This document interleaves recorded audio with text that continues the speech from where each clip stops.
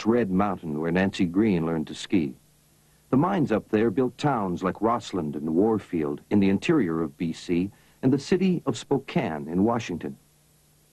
And down there in the valley, in the smoke, they spawned a company town called Trail, BC.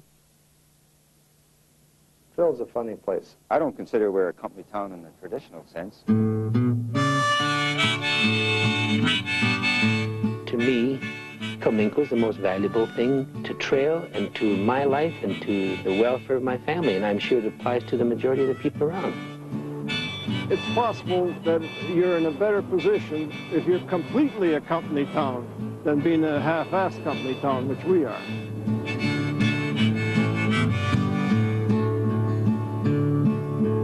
Where are you going, company town? Where are you going to today?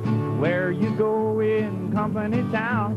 Where you going to today?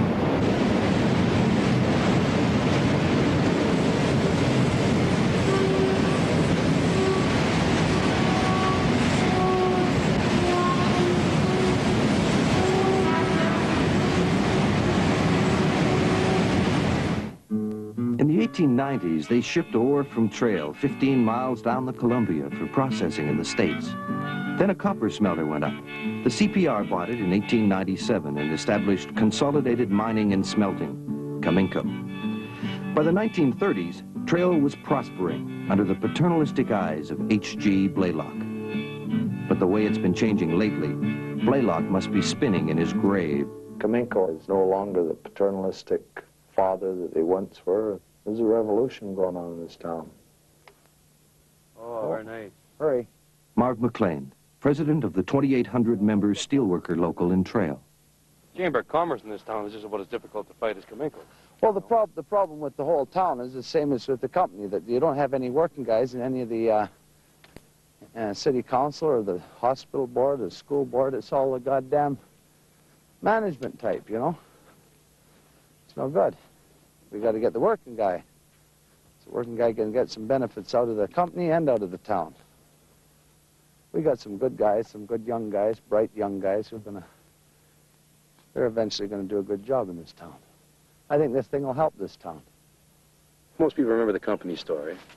Turkey at Christmas time. They forget about the goose every time they bargain. Most of the older guys have some loyalty to Cominco, where we have none.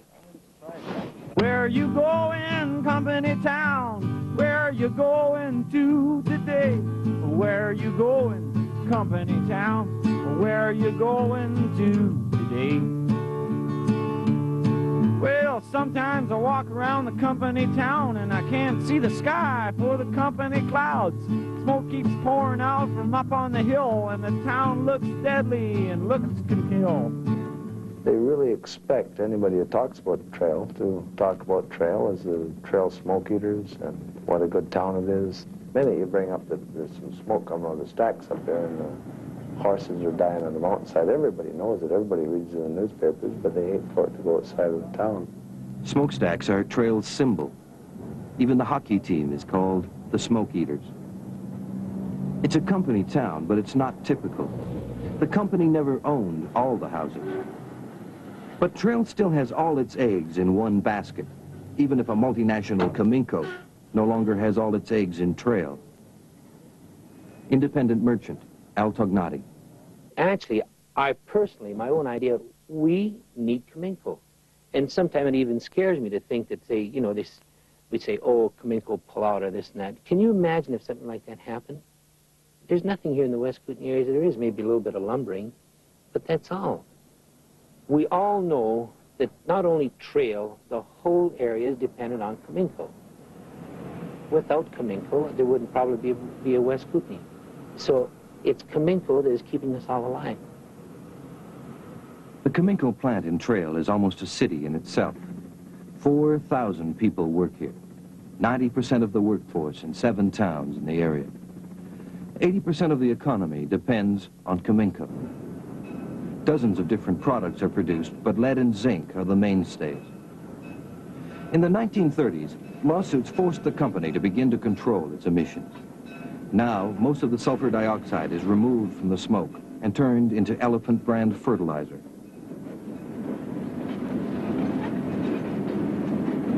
Where once almost nothing grew, virtually all of the varieties of plants are staging a comeback. But for generation after generation of workers, conditions in the plant have been more important than the condition of the outside environment. For example, lead poisoning, or being leaded as it's called here, has always been a source of fear and a fact of life.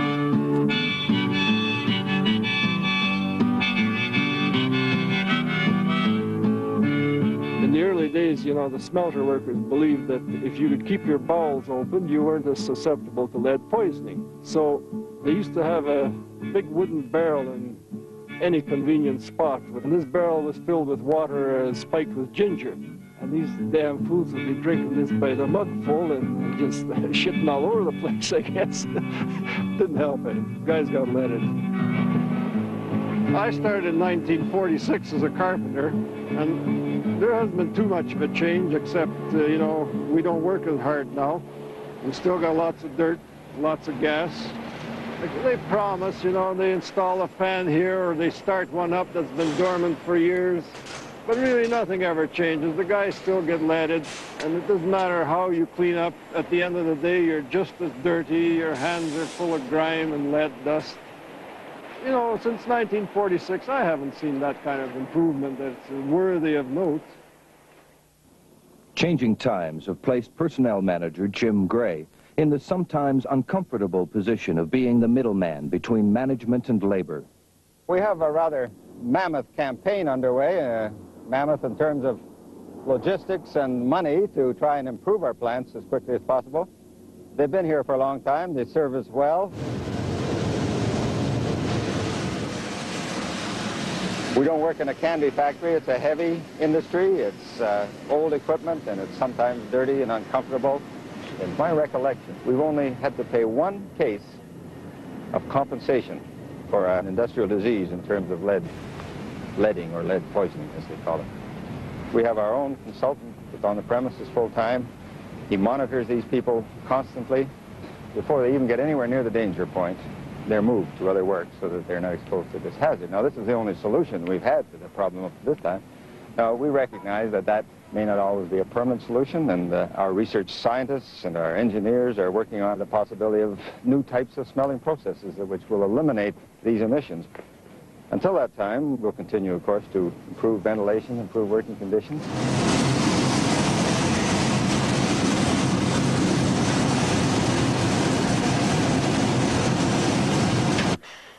We get down to Union Hall one night, and the young guy was saying that he'd only been there a week, and the conditions were terrible. And the older guy was saying, well, wait a month, and uh, you'll get used to them. And the young guy says, "Ah, I don't want to wait a month. He says, I'm leaving tomorrow.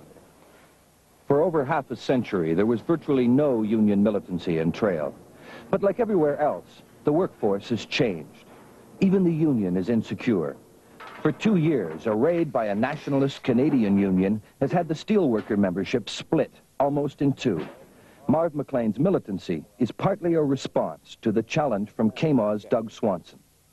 Well, if you take uh, the men who've been there for years and they start counting on their fingers the number of men they worked with that died of lung cancer in the lead refinery area and whatnot, you know, it just seems a bit too much. And they don't need to have the pollution measured when you can see it in the air.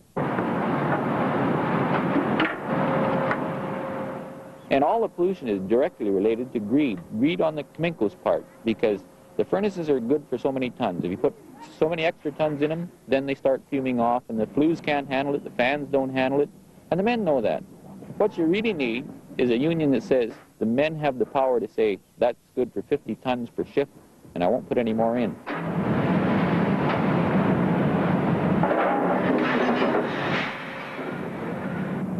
Not too long ago, we had a worldwide reputation for being one of the most progressive companies in terms of employee hygiene, particularly in the area of lead refining.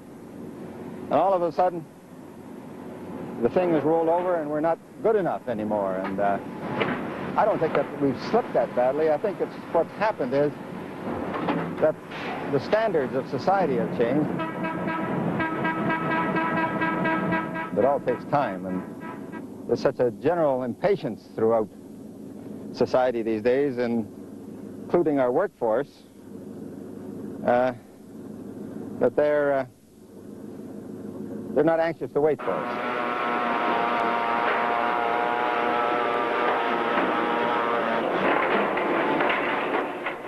Lead is not the only hazard here. In the zinc tank rooms, sulfuric acid mist can dissolve unprotected teeth and nose cartilage.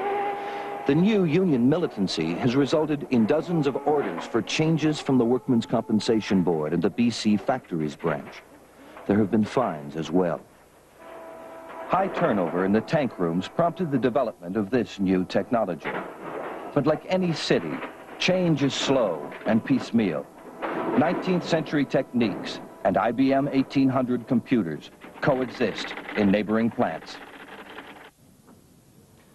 Labor relations have changed the most. Managers once lived their whole lives in trail. Now they move around the world to Cominco's various operations. Often they were workers' sons or brothers. Today they don't know the men as well, and the men have changed. Young workers don't stay unless the money and the conditions are right. Their example is causing older workers to demand a new deal. Grievances have multiplied alarmingly. A wildcat strike shook the confidence of both union and management. Everyone has an opinion, but there is no clear consensus. The people, I think, really would like to uh, participate in not management decisions, but participate and feel part of a company and have some association, some belonging. This is a need What of he's saying is the company policy that whatever they say is the way it has to be, and the working guy really is extremely stupid. Yeah, but why? The first thing they learn in Cominco after three weeks is the hell with Cominco paid us every two weeks. Now that's the thing we've got to break, and I don't, I don't like it any more than uh, Cominco like it. That's a fact, Keith. That's the attitude Cominco projects. That's But why they, guys they've got made that this. attitude. They've created this monster. Sure, they've created it. That's what I'm but saying. But that's why the guys got that attitude. After two weeks, sure, they said the hell with Cominco and paydays every two weeks. Yeah, and they're going to have that man for 40 Because the years. bloody boss is saying, I'm going to give you a reprimand. You're five minutes late for lunch. Yeah, well, You know, or five ridiculous. minutes late. Yeah, well, that's what they're doing. Well, I've seen some damn good kids come through there, and they would be top-notch tradesmen. And yet, I've seen it happen, Marvin, in six months' time, they're, they're not worth a shit. But what, what initiative does it show to the individual to, to have pride in his work when they give him an hour's work and he's to spread that all over an eight-hour period? Maybe you don't have this in the trade that you're associated with, but in my trade, I do. That's the individual- company's fault. Right, Right, but but don't you uh, think that they degrade the individual to a certain extent? Maybe the average tradesman up there almost gets time off. Every tradesman nearly gets some time off in the summer.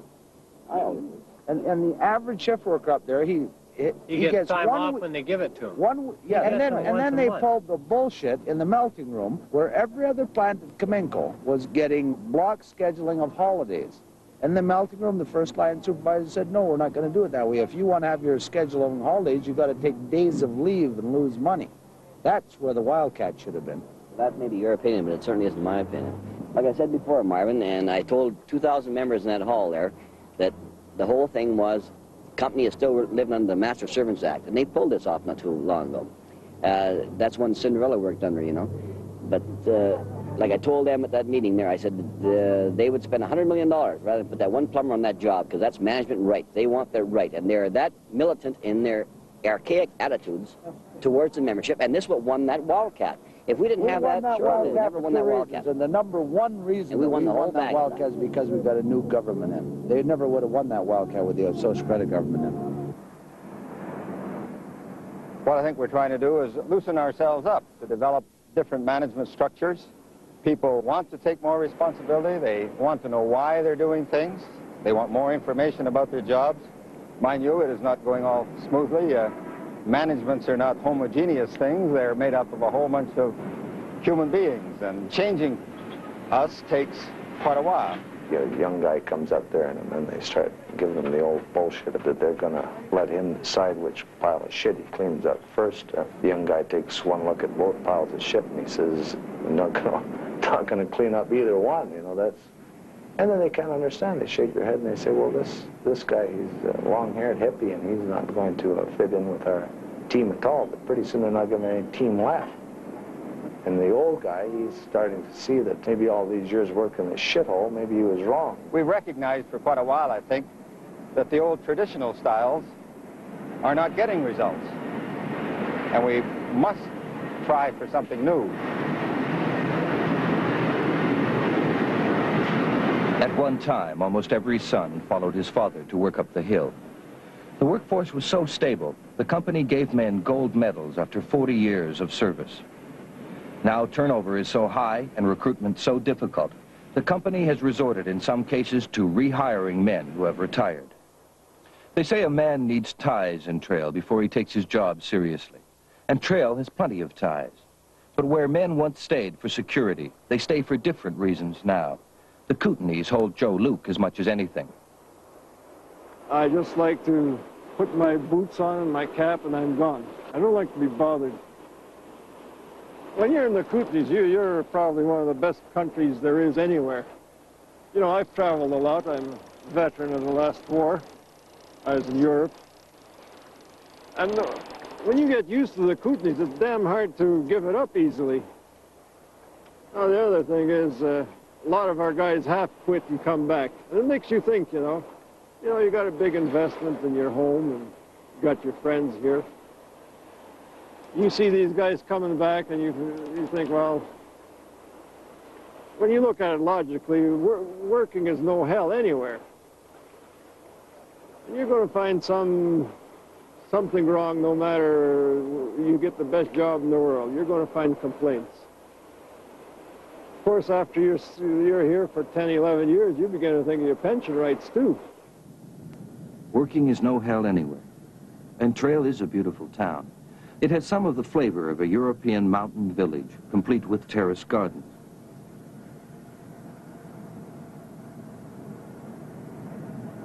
The community is about 50% Italian, and that has a lot to do with it. Everyone says it's a great place to raise a family. In 1895, some of the first Italians came to Trail, and they rode back to their hometown, and they got their own relatives to come here. They married, and they had their children, and their children remain here. They probably formed their society because uh, maybe they couldn't communicate with the rest of the town. I think Trail's a real friendly town, and it's a pretty clean town. Over The sense of community Al Tognati loves is easy to see at events like the annual Italian picnic. We belong to the Brothers of Colombo Lodge, and there's a sister, so we have a do up there, eh? But the family gets involved, and you get involved in the activity of the town, and you just get so tied to it that you can't move if you have your family here. Thank you, pal.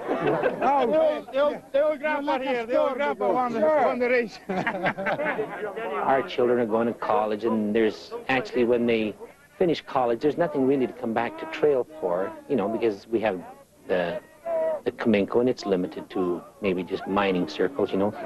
And uh, most of the kids uh, move out. And I think there's uh, just different people come in, and it seems to be a little stranger town than it was before, but still friendly. Social clubs, service clubs, great sports programs for the kids all help to hold people in trail. But the changes affecting the company almost seem like a jinx. Nothing goes as smoothly as it used to.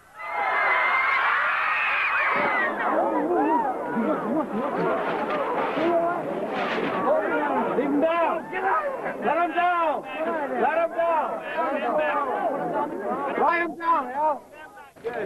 Down. In the late 40s, one-third of the workforce refused to even join the first independent union until the company president asked them to. This time, the largest turnout in the union's history voted heavily to strike.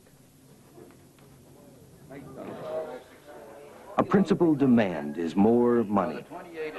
Trail used to be number one in the country in terms of average wages. Another is 30 and out at 55. Retirement at age 55 after 30 years service. The raid by the rival union was sparked by a mismanaged strike two years before. This time, the union executive can let nothing go wrong. They must come reasonably close to delivering on the major demands or face replacement by another union. The tensions show, even in the policy committee. chance to keep communications going. They know why they're going out on strike because their bloody demands have not been met by that company, and that's why we're going out. If they want any further information, there's a telephone in this hall. They can come down to this hall. They have to come down to register anyway. Now, this mass meeting bullshit, the next mass meeting I want to go to is when we've got a hell of a good settlement in our, in our hand and we can say, here it is, boys, we got a hell of a good settlement on When you get a big demonstration of 1,500 guys walking out of that rink, look, Mr. Cominco sees, well, them guys are together, eh? Eh? And that means a hell of a We have All lot. kinds of Eh? so I think it's just a, a waste of time. Don't have to be told that we're going on strike, we know it. And I have to agree with Brother Mechanic that this is a good example to Cominco up there. If you see enough, if they see enough people walking out of that hall. Oh, no, okay, go ahead, Frank, go ahead. Last speaker. I just want to say one thing, brothers, Brother Chairman. We hammered at that company for years, and we hammered at them to get the old pensioners more money. But when the pensioners got out there and demonstrated, by Jesus, they come out, didn't they? And the pensioners got something. They knew who meant business. Thank you, Brother Chairman. Now, the motion is that we hold a meeting on Sunday night to inform the membership of what's going on. Sunday afternoon, all in favor?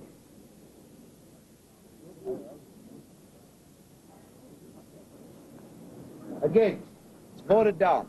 Joe, if you want to get involved, get down the hall and help register. We, we're having about 200 guys a day come through here. involved in that hill explaining things to guys. Yeah. You're not. You're down at the hall. Yeah, I'm working 16 hours a day too, so don't give me any shit. I shit. can work 16 hours a day up too. Yeah. Okay, anyway, I think it was the majority decision, Joe. You'll have to live with it. Hey, Joe, let's save our fighting for the company. Yeah, right. Let's leave here fighting the Cominco, not fighting each other. Thanks for coming. Where, where, only, okay, how many of us guys are here, eh? 75, 100? How many guys are up the hill? Think it over. Like the days of paternalistic management, the times when unions could be bossed by the executive have passed. The new executive stresses participation and involvement. It has to. As a result, when it comes, the strike takes on a life of its own. Where you going, hard-working man? Where are you going to today? Where are you going, working man? Where are you going to today? Better get more guards on there, Lauren. Better get more guards. We're liable to bust through. This will be the longest strike in Trail's history. Money questions are important, but the emotional charge comes from dissatisfaction over labor relations. As never before, the workers want to increase their influence over the work in the plant and the life of the town. We depend on these workers, you know, coming down. That's our livelihood, eh? And if they aren't working, it's got to affect us. If you were crossing the picket line, you seen your picture in the paper saying, is your father one of these scabs? You know? And then have all the 68 pictures of the guys living across the picket line. See what their sons and daughters have to say about that. Dirty? Nice. But why are you letting cars go through the gate? Why are you letting everything? Cars. Cars Cars with uh, a wheel in front of them, and I don't know who's in them. First line supervisors. Well, why aren't we stopping? Well, they're scabs. Why aren't we stopping them? Well, how can you stop them? There's not one boss that's come down So if you stop every one of them from crossing, then what's the Cominco gonna do? Fire every one of them? This is the best strike they've ever had in Trail, so don't knock it. If you get out there and stop the car from going in, they'll bring the police up, they'll put an injunction on there, and they'll throw all of the pickets in jail. No, they will. They'll get injunction. Oh, you can make it. You have to come in and drop it off. The union executive is left little choice. The younger membership is pushing them hard. They feel they must demonstrate their own militancy by exercising their full rights to picket. They take a large group to the gate and circulate, talking to everyone, trying to convince them not to cross. It works reasonably well for a while.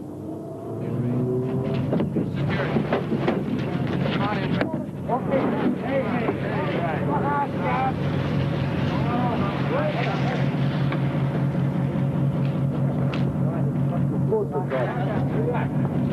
look at that!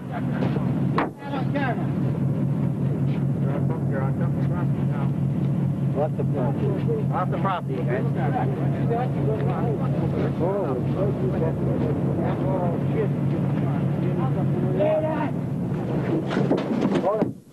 The collision on the line sparks a brief flurry of anger.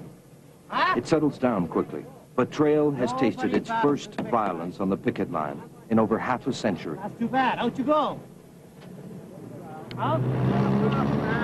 I think most people look on a strike for what it is, as an honest difference of opinion and difference between two parties trying to get together, and it's a legal thing that's built into the whole problem-solving procedure. This strike is extremely necessary right now in the transformation of this town from a company town, not just to a union town, maybe to a company union town.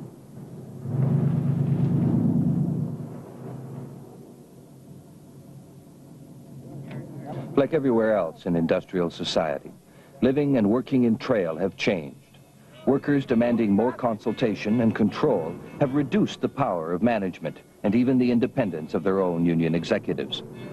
Responsible people on both sides recognize the problem, but they cannot impose solutions on a situation they can't completely control or understand. The process of give and take, even of confrontation, must produce its own resolution. Where you going, company town? Where you going to today? Where you going, company town? Where you going to today? Where you going, company town?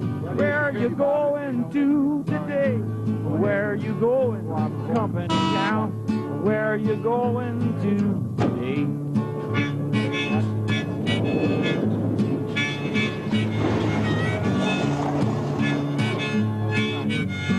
Gotta keep moving. Keep the security guards.